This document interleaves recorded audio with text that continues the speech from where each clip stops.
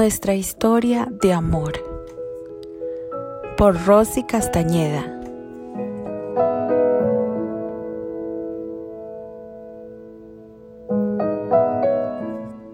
Narración por Kelly para el canal Dulce Candy Fanfics.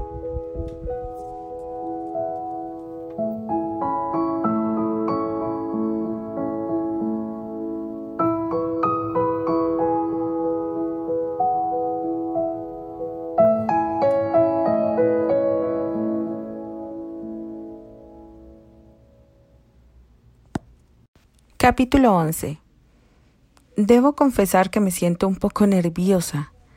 Todo estará bien, confía en mí. Además contamos con el apoyo de mi padre, así que no tienes por qué sentir miedo, decía él depositando un beso en el dorso de su mano, mientras la ayudaba a subir al auto que lo llevaría a casa del primer ministro de Inglaterra, lugar en el cual se llevaría a cabo una recepción tras finalizar la obra en el teatro. Uno a uno los convidados a aquella majestuosa fiesta fueron arribando, siendo recibidos por el mayordomo de la gran mansión. Candy y Terry llegaron juntos y fueron recibidos por un tumulto de periodistas que hacían toda clase de preguntas a Terry. Para sorpresa de los periodistas, Terry se detuvo y respondió alguna de las preguntas hechas. Luego atrajo a Candy más cerca de él, regalándoles de esta manera una de las mejores imágenes jamás antes obtenidas del actor la cual le daría la vuelta al mundo y quedaría enmarcada por siempre. El ambiente en el interior de la mansión era agradable. Cada uno de los actores de la compañía Stratford eran elogiados por su impecable representación. Karen sonreía complacida por todos y cada uno de los cumplidos recibidos, y se convirtió en el centro de atención de algunos caballeros solteros que se turnaron para bailar con ella. La actriz buscó con la mirada a Terry y sonrió al ver cómo su enamorado compañero y amigo luchaba por quitarse de encima a un sinnúmero de jovencitas que no le dejaban pasar, mientras éste trataba de llegar hasta donde Candy aguardaba por él. A Candy no le encelaba ver aquella escena, pues era consciente que su prometido era un hombre extremadamente atractivo y que por más que hiciera por pasar desapercibido, jamás lo lograba, y ella debía acostumbrarse a eso, ya que era parte de su vida. Amaba a Terry y amaba todo lo que él representaba. Aquellas chicas podían soñar con él todo lo que quisieran, pero pronto ella sería quien dormiría con él todas las noches y con quien despertaría cada mañana. Aquel pensamiento hizo que sus mejillas se ruborizaran de manera tal que se vio obligada a abanicar su rostro con ambas manos. Hace mucho calor aquí dentro, ¿no le parece, mi lady? Gandhi dio un respingo ante aquella abrupta interrupción de sus cavilaciones y se giró para ver frente a ella a un joven que le sonreía de manera amistosa y o al menos aquella fue la impresión que tuvo cuando el joven hizo una reverencia frente a ella. Un poco, respondió sintiéndose de pronto como una niña pillada en medio de una travesura. Le apetece salir al balcón para que respire un poco de aire fresco. El joven propuso con una jovial sonrisa. Agradezco su ofrecimiento, pero no es correcto hacer tal cosa. Además, apenas lo conozco. Ese no es ningún problema. Puede presentarme ahora mismo, repuso él, sonriendo. Mi nombre es Richard Granchester. Soy el medio hermano de Terrus. En las pocas horas que compartían, Terry nunca había mencionado a sus medios hermanos, Candy sabía que los tenía, podía recordarlo de alguna conversación que tuvieran en el pasado, razón por la cual era ajena a la situación actual entre ambos. Encantada de conocerte, Richard. Mi nombre es Candice. Richard tomó la mano de Candy de manera caballerosa y depositó un beso en el dorso de ésta. Es un, un, honor conocer finalmente en persona a la hermosa joven que consiguió que mi hermano renunciara a todo en el pasado. Ante el repentino sonrojo de Candy, Richard se disculpó para ganar su confianza. Lo lamento, Candice. No era mi intención atribularla con mi impertinente comentario. No, no lo has hecho. Es solo que me ha tomado por sorpresa. No sabía que ustedes estaban al tanto de todo aquello. Fue un escándalo a voces dentro de los pasillos del colegio, algo que se salió de las manos de las monjas, en cuanto llegó el tercer domingo del mes y cada uno de los alumnos salieron junto a sus familiares, mi padre entonces tuvo que invertirse una inventarse una historia sobre las razones por las cuales Terrus ya no estaba en el colegio, y como se trataba de un alto noble inglés, nadie puso en duda su declaración, y más cuando a poco tiempo se supo por los periódicos que una nueva estrella brillaba en Broadway, dejando ver una fotografía con una pequeña reseña de Terrus. No estaba enterada de nada de eso, confesó la rubia. Todo pasó luego que usted abandonó el colegio. También se dio una versión diferente. Muchos la creyeron, pero muchos otros no. Y a escondidas de las monjas aquellos que no creían hablaban de la hazaña de cómo un noble inglés y una chica americana rompieron todas las reglas del estricto colegio San Pablo. Terry seguía en una lucha por librarse del asedio de las jovencitas cabezas huecas, como él catalogaba a las jóvenes de la aristocracia, quienes eran unas marionetas de sus padres incapaces de decidir por sí mismas su propio destino. Para su alivio, Robert llegó a su rescate, pero, para su desgracia, lo llevó a un lugar diferente y apartado de donde se encontraba su prometida. Terry te presentó a Leopold Birmingham, el director de la Royal Shakespeare Company. Un placer conocerlo, señor Birmingham. Terrus Graham, a su servicio. Birmingham sonrió. Terrus Graham Granchester, o oh, me equivoco. Terry negó con la cabeza. No lo hace, señor. Ese es en verdad mi apellido, pero no creo que eso haya sido el motivo suficiente para despertar su curiosidad y hacerle venir hasta aquí, dijo el castaño de manera tajante. Terrus un sorprendido Hathaway le llamó la atención. Déjalo, Robert. Me agrada que sea de las personas que no se anda con rodeos. Y díganme, Candice, ahora que ya sabe quién soy, ¿me permitiría esta pieza de baile? Claro, respondió ella, aceptando la mano del joven y dejándose dirigir hasta la pista de baile. Los ojos de Lucrecia se iluminaron al ver cómo su hijo mayor llevaba a cabo con éxito la primera parte del plan. Miró a su alrededor y sabiendo lo precavido que era su ex esposo, no le fue difícil reconocer a todos los hombres al servicio del duque, que se habían camuflado en el interior de la fiesta. No estaba en sus planes, pero hacer lo que a su mente llegó pero era necesario para distraer la atención de los perros guardianes de Richard. Con paso arrogante y seguro se dirigió hasta donde se encontraba su presa. De manera sutil y, fingiendo un malestar que estaba lejos de sentir, logró que Eleanor, a quien encontró sola, la acompañara a una área apartada del salón de baile. Cuando miró hacia atrás se dio cuenta que los hombres de Richard la seguían dejándole el camino libre a su hijo mayor, quien no perdió de vista los movimientos de su madre. Candy sudaba a mares e intentaba inútilmente refrescar su rostro con ambas manos. Candice se le apetece salir al jardín para respirar un poco de aire fresco. Ahora que sé quién eres, no puedo negarme a su ofrecimiento. El malvado chico sonrió en sus adentros. Todo le estaba saliendo a pedir de boca, mejor de lo, de lo que lo habían planeado. Era la segunda copa que Elisa se tomaba. Quería olvidar de alguna manera lo humillada, molesta y usada que se sentía. No podía sacar las palabras de Charlie de sus pensamientos. Una parte de ella le decía que él era sincero y la otra parte le gritaba que no fuera tonta, que él había jugado con ella todo ese tiempo y que lo seguiría haciendo. Presa de sus pensamientos y de sus pesares, salió del salón de baile y se dirigió al jardín para tratar de poner en orden sus pensamientos. Se sentó bajo un gran árbol, el cual le recordó el lugar donde entregó su virtud a un completo desconocido, de quien se había enamorado de manera irracional. Cerró sus ojos y dejó salir amargas lágrimas. ¿Por qué? dijo entre sollozos. Porque fui un idiota. Elisa dio un respingo al escuchar aquella voz que se había convertido en su delirio. Respiró profundamente y se giró para quedar frente a él. ¿Tú qué demonios haces aquí? Creí haber sido clara en el teatro cuando te dije que no quería saber nada de ti. Y yo fui claro cuando te dije que insistiría hasta que me perdones. Vete ahora o comenzaré a gritar. Pues ve comenzando a hacerlo porque no pienso retirarme, respondió él acortando la distancia. No te atrevas ni siquiera a tocarme. Charlie hizo caso omiso de sus palabras. Él no era el tipo de hombres que rogaba, y aun cuando le había dicho que insistiría hasta que ella lo perdonara, aquella situación ya estaba hartándolo. Tomó a la joven pelirroja de la cintura y la trajo hasta él. De manera posesiva se apoderó de sus labios. Poco a poco las defensas de Elisa fueron cayendo y su voluntad fue cediendo. Elisa, ya te he dicho cuán arrepentido estoy de mi comportamiento. Si bien es cierto que al principio me acerqué a ti por venganza, pero terminé enamorado como un completo idiota. Pero si hoy me dices que no quieres nada conmigo, aceptaré tu decisión y me alejaré para siempre.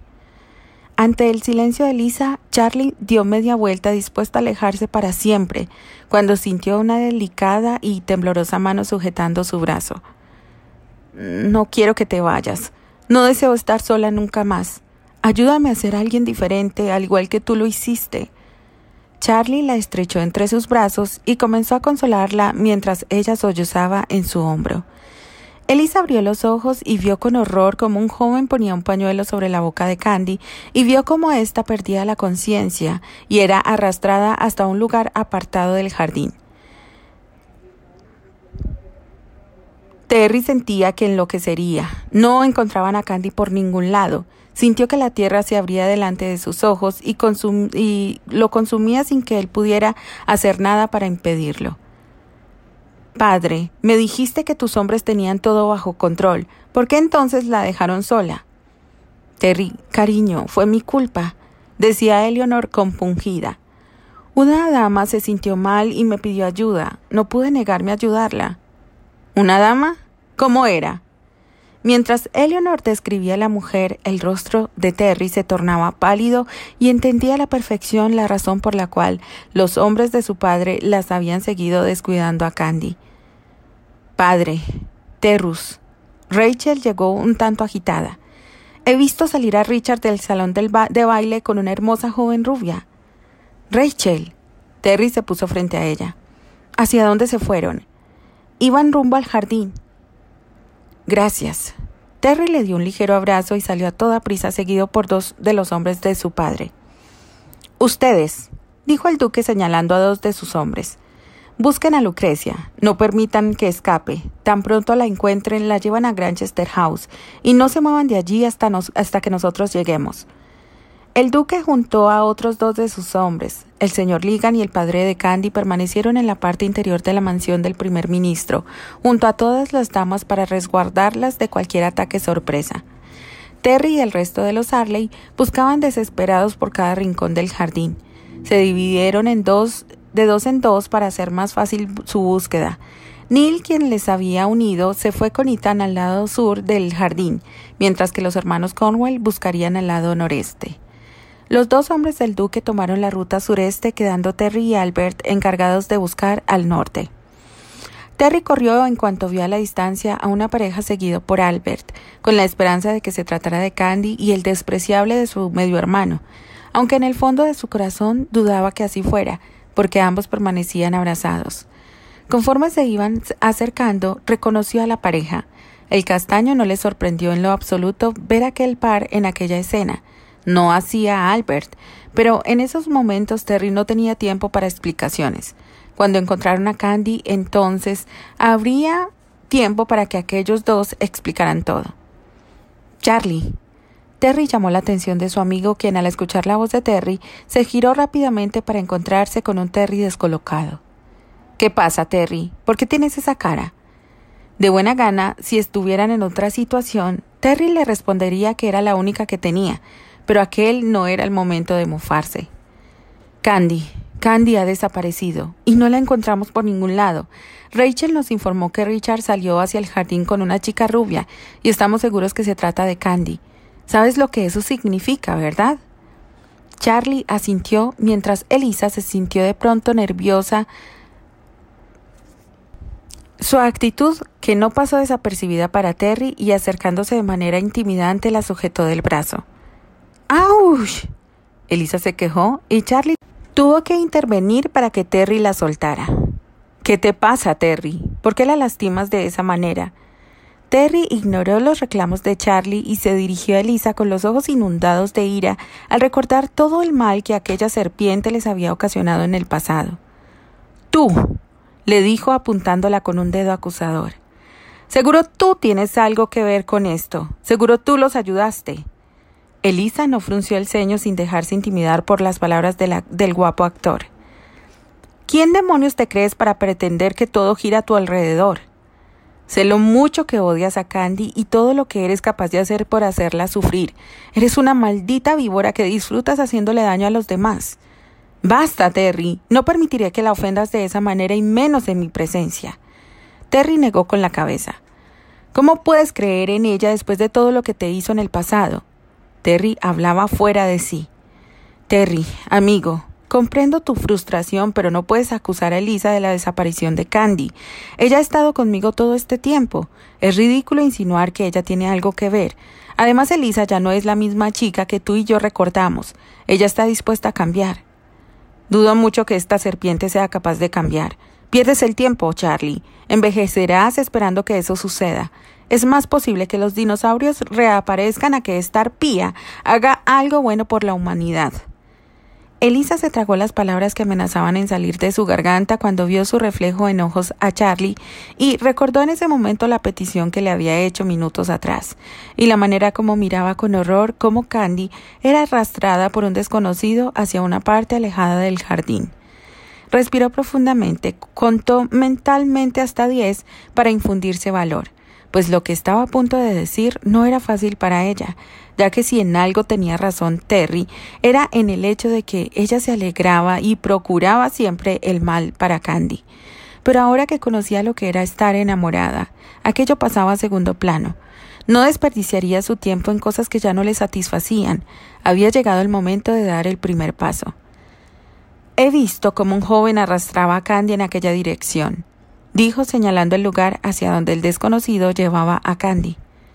Elisa. Charlie la tomó de las manos. Ve al interior de la casa y busca a tu familia, y permanece con ellos hasta que regresemos. Elisa sintió, y Charlie comenzó a correr detrás de Terry. Lo conocía lo suficiente como para saber que mataría a golpes a Richard en cuanto lo tuviera frente a él. Capítulo 12 Candy estaba horrorizada al despertar y verse sentada en una silla, con sus manos y pies maniatados con su boca amordazada por un pañuelo, mientras Richard pasaba uno de sus asquerosos dedos por el escote de su vestido. Candy comenzó a moverse tratando de evitar su contacto, pero era inútil. Cualquier intento que hacía era infructuoso, y solo lograba que aquel asqueroso joven se riera de manera perversa. En su interior, Candy se recriminaba el haber sido tan ingenua y haber sucumbido al ofrecimiento de aquel joven.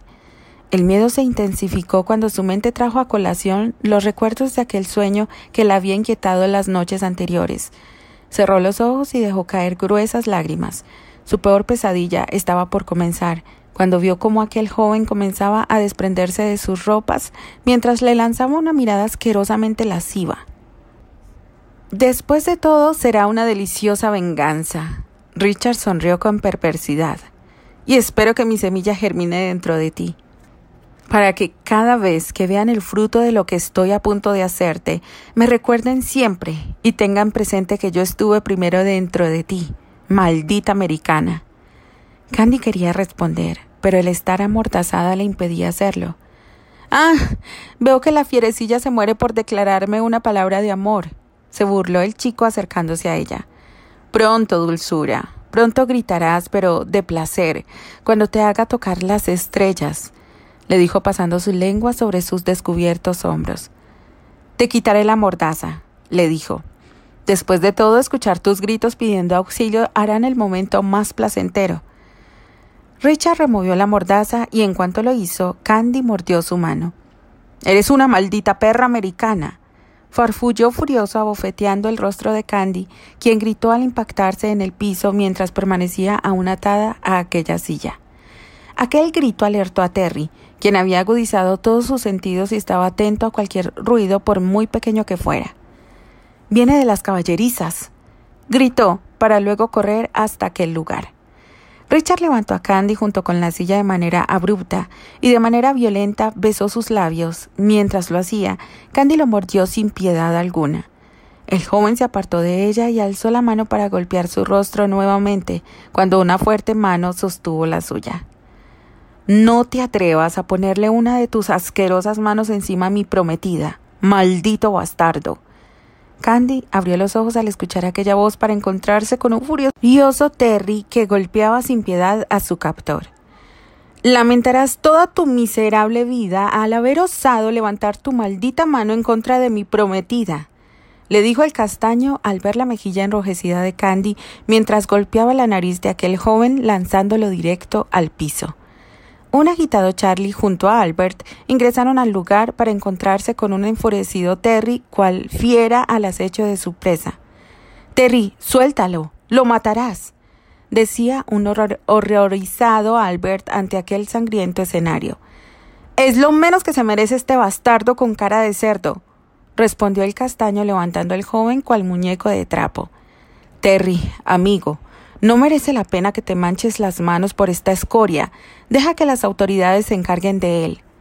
No, Albert, mataré a este malnacido por haber tocado a mi pecosa.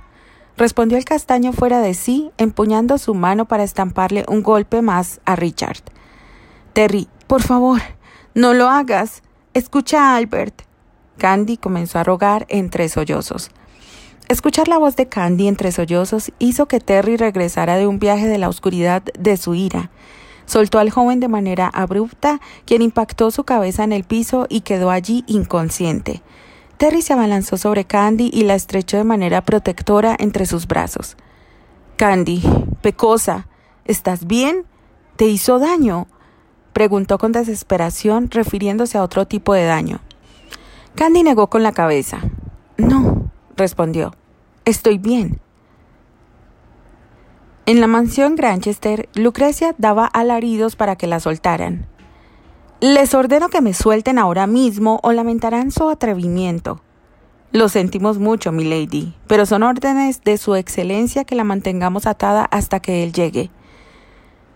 La puerta de la biblioteca se abrió, dando paso a un enfurecido Richard Granchester, quien tras escuchar por labios de Lisa que Terry junto a Albert y Charlie habían ido al lugar donde Richard había llevado a Candy, se despidió de los demás luego de que uno de sus hombres le informara de manera discreta que tenían a la ex duquesa en su poder.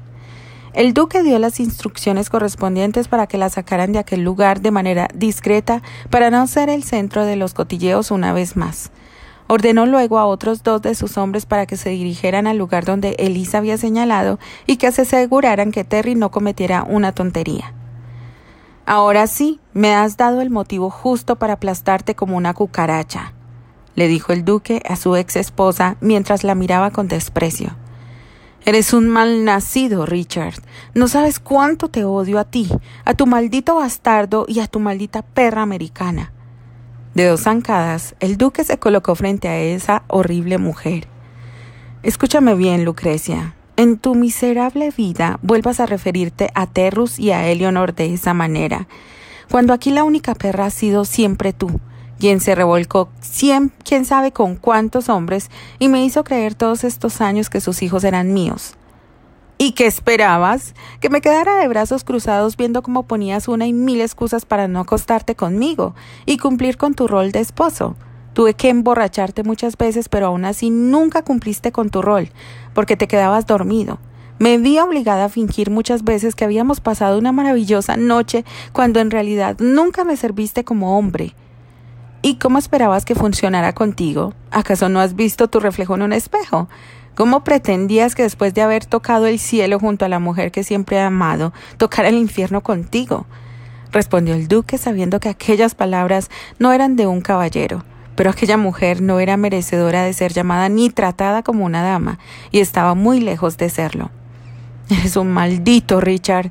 Debí deshacerme de ti cuando Fred me lo propuso. ¿Fred? ¿Te refieres a Frederick Thompson? Así que ese es el desgraciado que ha sido tu amante y el padre de tus hijos. El duque rió para consternación de la extuquesa con cara de cerdo. Son tal para cual, dijo poniéndose serio de pronto. Gracias a Dios que Rachel y Nick no sacaron sus genes. Ante los gritos de su madre, Rachel ingresó de manera repentina a la biblioteca. Padre, ¿está todo bien? Terru se encuentra bien. Rachel, hija, ve afuera con Eleanor. Pidió al duque para evitar que la joven fuera una víctima más de su propia madre, quien le lanzó una mirada asesina. Así que fuiste tú quien alertó a Richard de todo. Tú, mi propia hija, ha sido quien me ha traicionado y me ha entregado en manos de nuestro enemigo. Mi padre no es nuestro enemigo. Deja de llamarlo así. Richard no es tu padre, dijo la horrible mujer de manera desdeñosa. Rachel negó con la cabeza. Eso no es cierto. Lo dices porque estás enfadada conmigo y quieres castigarme con tus palabras, como solías hacerlo cuando era una niña. Pero ya no lo soy, madre, y tus palabras no hacen ningún efecto en mí, respondió la joven sin titubear, manteniendo su rostro en alto. Lucrecia se rió de manera burlona. no seas tonta, Rachel. ¿Cuál crees que fue la verdadera razón de nuestro divorcio? ¿Crees acaso que los cotilleos que escuchabas en los salones de bailes eran una mentira? Pues no, niña. Todo cuanto decían era cierto. La mujer, al ver el rostro compungido de Rachel, se disponía a seguir escupiendo su veneno. Basta, Lucrecia, ni una palabra más, dijo el duque con el ceño fruncido y abrazando de manera protectora a la joven quien había comenzado a llorar. Ve con él, Leonor, cariño. Ella negó con la cabeza. No hasta que me aclares todo. La ex duquesa, con cara de cerdo, disfrutaba del dolor de aquella joven quien se desvivía por Richard Granchester. Escúchame bien, Rachel. Rick y tú son mis hijos, y nada ni nadie va a cambiar eso. Ahora, por favor, hija, ve con Eleanor y sube a tu habitación. Pidió de manera suave y cariñosa, a lo que la joven no se negó más, y tras recibir un beso en su frente salió de aquel lugar. Dos horas más tarde, Terry hacía su arribo en Granchester House, junto al resto de los Arley, donde el comandante de la Scotland Yard, Theobald Jackson, aguardaba por ellos para hacerse cargo tanto de Lucrecia como de su hijo mayor. Dos días más tarde, Richard Granchester era informado del castigo que aquel par recibirían por atentar contra la integridad de un miembro de la Casa Real, ya que Candy, al ser la prometida de Terrus Granchester, sucesor al ducado de Granchester, la hacía parte indiscutible de la casa real. ¿Qué? Era la segunda vez en el día que Sarah Ligan caía inconsciente. Al paso que iban, necesitarían de todas las sales habidas y por haber en Londres. La mujer no paraba de llorar ante la idea que sus dos hijos, por los que ella se había esforzado tanto en que ambos recibieran la mejor educación, enviándolos a los mejores colegios según su propio criterio, terminaran enamorados de unos don nadie. No, no lo aceptaré nunca, repetía la mujer entre sollozos. ¿Cómo podría aceptar que mis dos hijos terminen casados con personas de tan bajo nivel económico? Eso será una vergüenza que yo no estoy dispuesta a vivir, decía con desprecio. Sara, tanto Neil como Elisa tienen derecho a decidir sus vidas. No, gritaba la mujer. Elisa no puede casarse con un delincuente, como tampoco Neil puede casarse con una sirvienta. Basta, Sara gritó un enfurecido señor Ligan.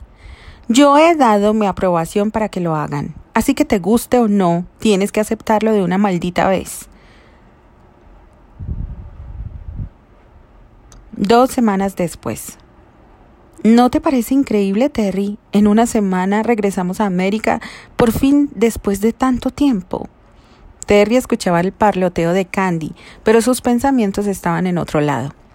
Candy, quien hablaba y hablaba, paró en seco su parloteo al darse cuenta que su prometido no le estaba prestando la mayor atención a todo cuanto ella decía. Terry, ¿sucede algo? le preguntó. Eh, respondió él para luego negar con su cabeza. No, todo está bien. ¿Estás seguro? insistió ella. Sí, Candy, no debes preocuparte. Es solo cansancio. Se excusó a él, mas ella no le creyó, pero no insistió más. Se prometió que lo averiguaría por su cuenta, ya que conociendo a Terry sabía que no le diría nada, al menos no ahora. En cuanto Terry se despidió de ella, Candy tomó su bolso. Detuvo el primer coche de alquiler que pasó frente a ella y se fue en busca de la única persona que estaba segura le daría las respuestas que ella necesitaba. Y no se equivocó. Karen le dio las respuestas que ella necesitaba. Verás, Candy. Terry ha recibido una propuesta para integrarse a la Royal Shakespeare Company. Es una, una gran oportunidad, algo con lo que cualquier actor de teatro sueña. ¿Y Terry ha rechazado esa oportunidad por mí? Bueno, tiene hasta mañana para responder. El señor Birmingham quiere, quien es el director de la compañía, se marchará mañana, así que ese es el plazo que tiene Terry para emitir su respuesta. Comprendo. Candy, perdóname por entrometerme, pero como amiga de Terry, me veo en la obligación de hacerlo. Esta es una gran oportunidad para impulsar aún más la carrera actoral de Terry. Podría catapultarlo hasta la cima que todo actor anhela llegar. Las oportunidades suelen llegar una sola vez y sería una tontería por parte de Terry dejar ir esta oportunidad. Candy, en tus manos está el futuro de Terry dijo la guapa castaña sosteniendo las manos de Candy. Candy volvió a su casa segura de la decisión que había tomado. No sería ella quien le cortaría las alas a Terry y truncara sus sueños para siempre.